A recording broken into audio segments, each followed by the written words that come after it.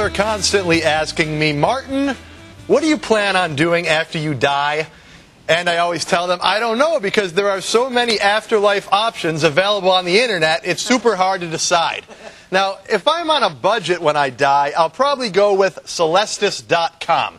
For a mere uh, $995, the good people at Celestis will take a gram of my cremated body and launch me into orbit. Ha ha! Take that, space tourist Dennis Tito! I just saved over $19 million! Maybe they could uh, make a reality show about my ashes floating around space. Now, if I happen to get certified in scuba diving before I die, I uh, very well may go with EternalReefs.com. Of course, uh, check this out here. What Eternal Reefs does is, uh, here we go. I'll let the woman explain it. by integrating the remains into the concrete used to build artificial reefs.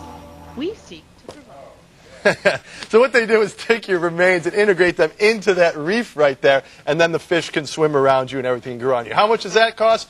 1,500 to thirty-two hundred dollars. Now, if I'm feeling like a fancy boy at the time of my death, I'll probably go with LifeGem.com.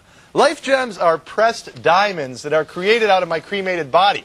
Will people take me off when they wash dishes? I don't know. Life Gems turns this into this. The cost of a life gem anywhere between uh, three thousand and twenty-eight thousand dollars. You know, being a precious stone is enticing, but what if I got pawned? And furthermore, what if someday they came up with a cure for deadly carpal tunnel syndrome and can revive my body? Maybe I should go with cryonics.org. There's the Cryonics Institute in beautiful Clinton Township, Michigan, and uh, say hi to facilities manager Andy Zawacki.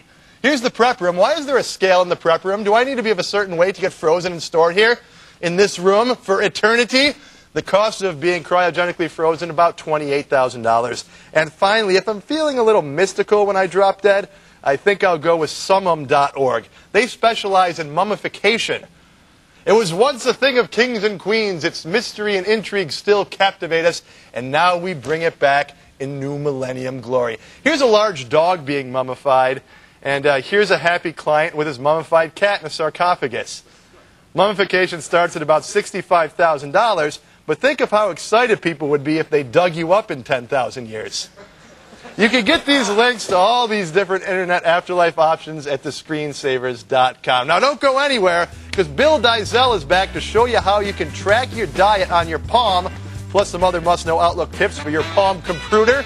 And after the break, if you're using Windows XP or 2000, you're probably using your PC incorrectly and opening yourself up to disaster. We'll show you how to use your PC the right way when we come back.